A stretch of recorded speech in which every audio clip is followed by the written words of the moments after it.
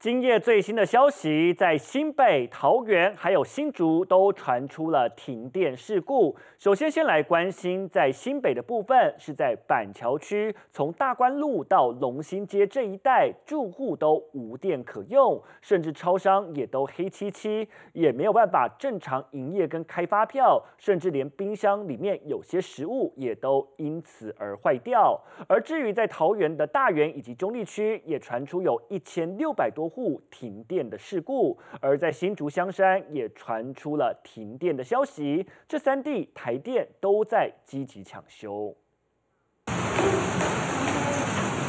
公寓黑漆漆一片，只能用手电筒照才能看清楚前方的路。十二号晚间下起大雨，新北板桥区更出现大规模停电。行进的车辆开着远灯，速度得放慢。晚间七点四十五分，从板桥大关路到龙兴街以及桥中一街等，总共两千八百六十住户无电可用，连超商也都无法正常营业。都不能开，对，然后架上门可以，但是不能够印发票，对，雷点也不行。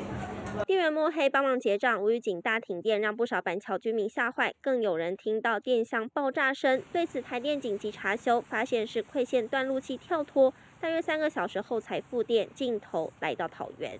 这个第一次摸黑逛百货公司，百货商场一片黑，行走都得更小心。柜姐无奈开启手电筒，桃园大江购物中心也出现停电。十几分钟塞电脑，然后叫客人不要踩到电梯滑倒就行。